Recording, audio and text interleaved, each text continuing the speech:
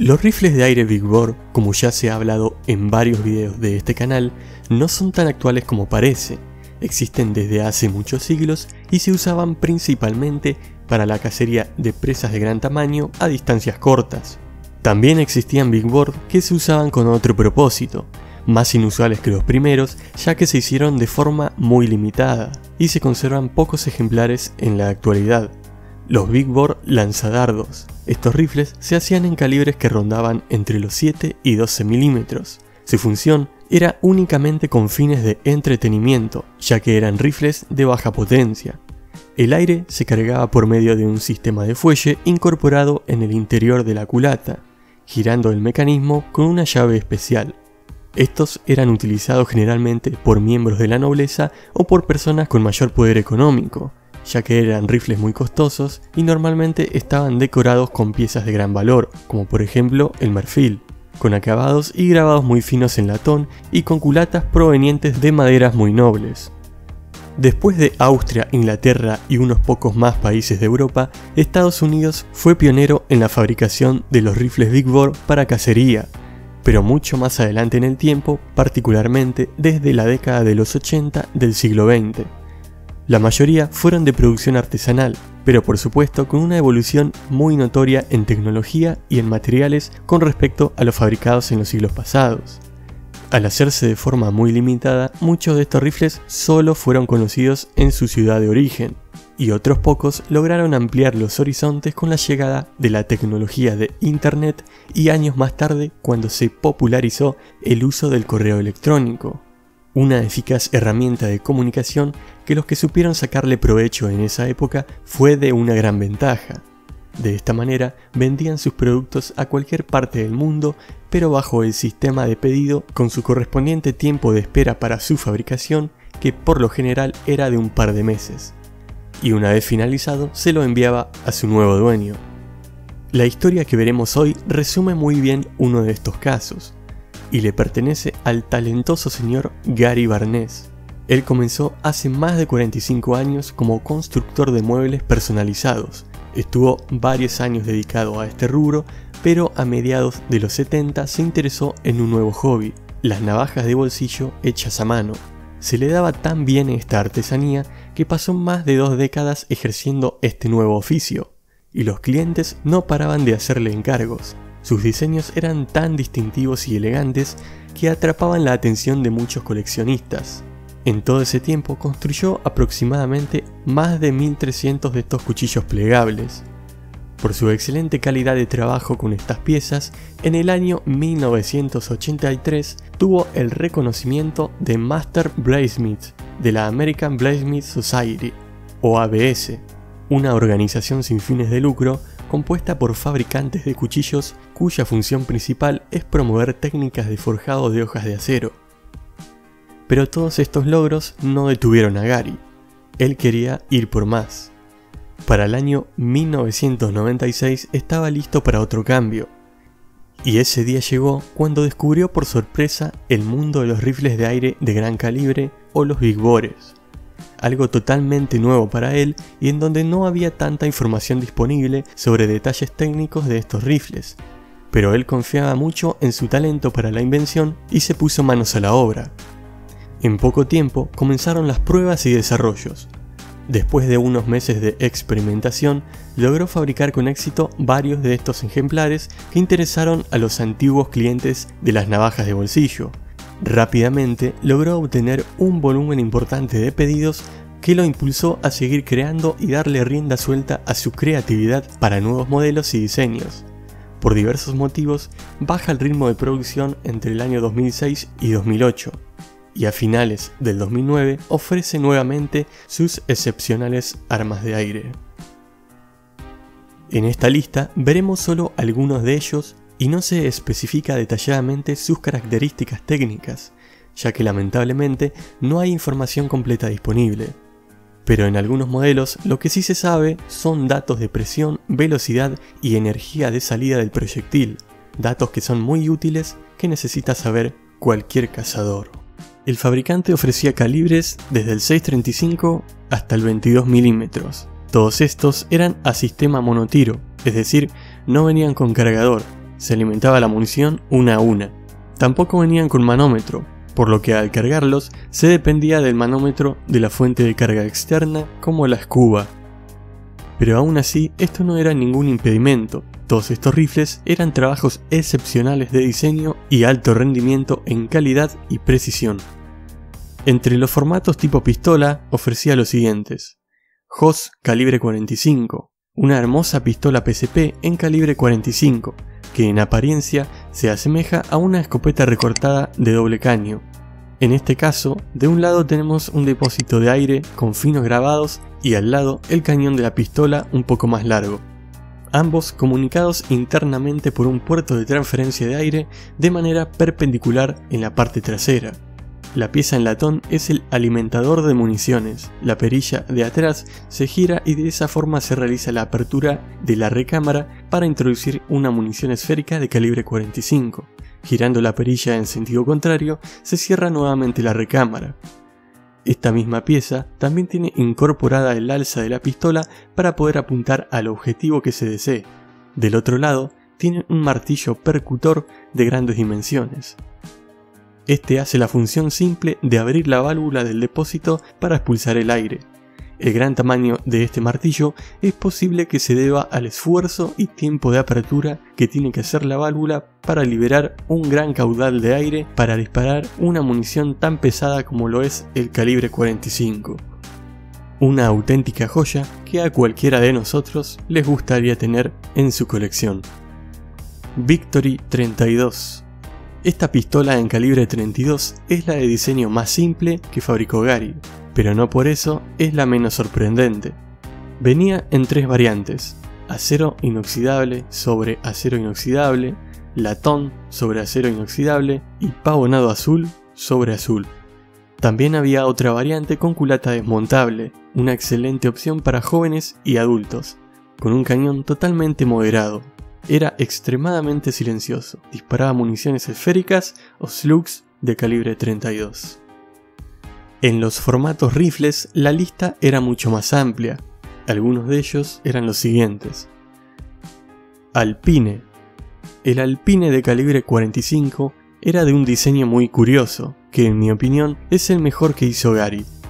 Este rifle PCP era de tipo de avancarga, es decir, la munición se cargaba por la boca del cañón empujando el proyectil con la ayuda de una varilla.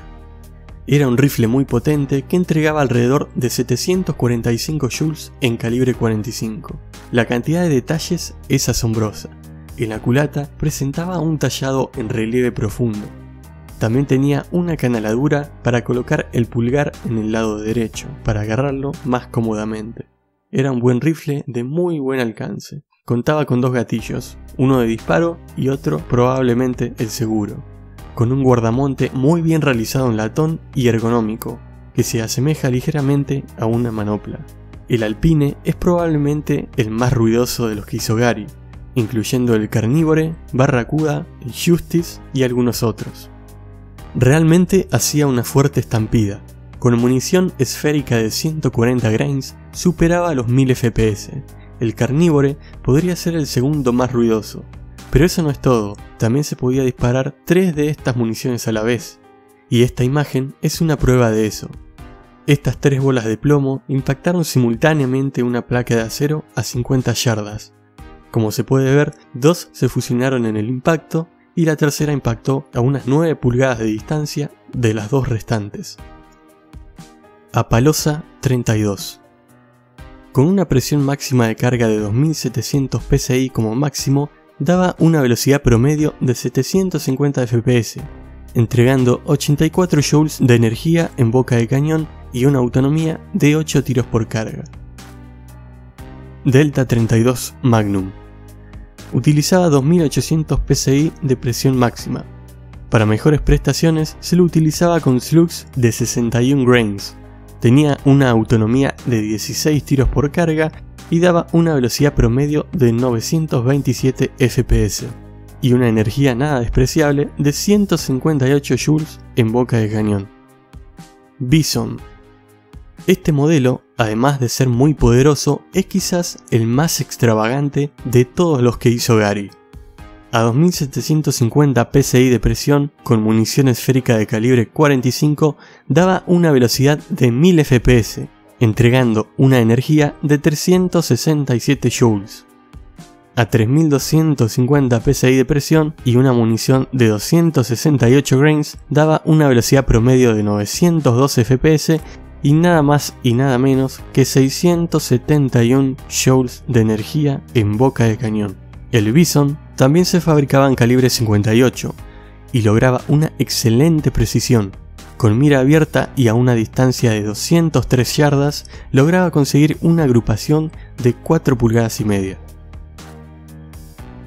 Dragon 87 con slugs gigantescos de 924 gains de peso, entregaba una energía descomunal de 1138 joules de energía. A pesar de ser de cañón liso, tenía una muy buena agrupación a 50 yardas. Estos slugs de 924 gains fueron recuperados de un objetivo de acero a 104 yardas. Justice 87 Este era de sistema de calibres intercambiables. Dentro del cañón liso original, calibre 87, o sea 22 milímetros, se adaptaban insertos de calibre 25 32, 45 o 58. El usuario podía solicitar la combinación de calibres que se ajustaran a sus requerimientos. Con insertos para calibre 32 y usando una carga de 2500 psi y municiones de 72 grains, daba una velocidad de 905 fps como promedio y usando municiones de 115 grains daba una velocidad de 750 fps. Ranger 32 Delta Magnum. A pesar de ser en calibre 32, era muy potente. Se llenaba a 2800 psi y usando puntas de 62 grains tenía una autonomía de 20 tiros dando una velocidad promedio de 930 fps. Y a 2650 psi y puntas de 115 grains daba una velocidad de 890 fps con una energía en boca de cañón de 274 joules. Otra versión del Ranger fue el Ranger DB2. Este fue una versión mejorada de la anterior con acabados en bronce muy bien pulido y con sistema de ajuste de potencia. Los grabados en el metal siguen siendo perfectos como en todos los rifles de Gary.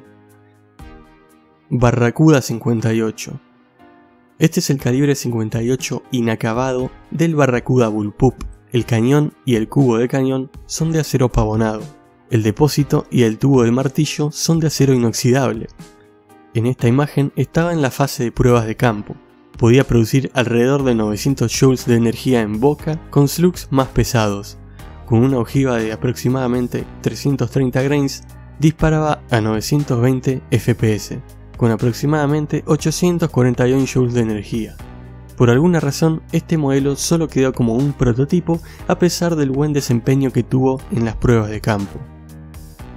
Grey Fox era un lindo PCP de formato más pequeño, ideal para transportar. Tenía una culata tradicional, pero muy bien lograda. El mecanismo del martillo estaba dentro de la culata. Utilizaba una recámara deslizante, fácil de cargar, múltiples diseños y pesos de municiones. La madera era de caoba y tenía un interesante esculpido de hojas de roble y bellotas. Disparaba puntas de 290 grains a 814 fps con aproximadamente 570 joules al máximo de poder. Con puntas más livianas de 216 grains disparaba a una velocidad de 900 fps. Con las más pesadas de 400 grains sería mucho más de 670 joules. Renderbus 25 Magnum. Este rifle es muy similar en diseño al Grey Fox, pero este venía en calibre 6.35 y tenía una gran variedad de ajuste de potencia. Por lo tanto, podía disparar a velocidades muy suaves y ser muy silencioso. O se podía usar al máximo de poder y disparar una punta pesada de 84 grains. Con estas configuraciones se registró más de 200 joules de energía, un gran rifle, pequeño y muy poderoso. Woodman. El Woodman se fabricaba en cuatro calibres diferentes, el calibre 62, 58 45 y 32. El 62 era de cañón liso sin estrías. Tenía una autonomía de 4 tiros buenos utilizando ojivas de 575 grains, con una energía de 540 joules. El 58 era de cañón estriado y por lo tanto más preciso que el anterior, con una autonomía de 4 tiros y 542 joules de energía. El 45 también tenía un cañón estriado y una autonomía de 5 tiros y 400 joules de energía en boca de cañón. En el calibre 32 no hay informes sobre sus prestaciones, pero se estima que superaba los 270 joules de energía consiguiendo muy buena precisión. En los tiros de distancias a 100 yardas agrupaba de entre 0,6 y 1,5 pulgadas, dependiendo del peso y forma de la munición utilizada. Carnivore 58. Este es un gran calibre 58 en el rango de los 800 joules, una acción de cerrojo con palanca anodizada de color dorado y una culata de nogal con fino tallado de hojas de roble y bellotas. También estaba disponible en calibre 45, que lograba una muy buena precisión a 80 yardas, con un agrupamiento de 0,9 pulgadas. En esta imagen vemos una gran variedad de los rifles de Gary. De arriba hacia abajo están Nautilus 32, Chaparral 25, Victory 32, Apalosa 32, Justice 87, Victory 32 Carabina, Victory 32 Pistol, Maverick 25 y Nebula 25. Gary fabricó tantos rifles que no se sabe con exactitud cuántos modelos existen. Diseñó todo el trabajo y todos los procesos por él mismo. Su trabajo es su vida y su hobby, ambos fusionados. Actualmente se desconoce si Gary sigue fabricando estos rifles, pero no hace falta aclarar que todos los modelos que hizo este hombre opacan en cualquier aspecto a cualquier PCP moderno de producción en serie no solamente en su estética, sino también en precisión.